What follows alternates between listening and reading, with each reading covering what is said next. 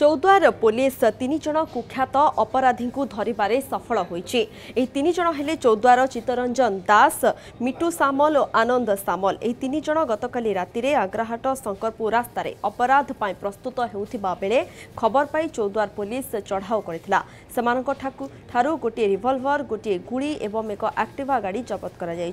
গিরফ তিনজনক না কটক জেলার বিভিন্ন থানার কোড়িয়ে অধিক মামলা রয়েছে সেমানকু আজ কোর্ট চালান করা যাইছে Thank you.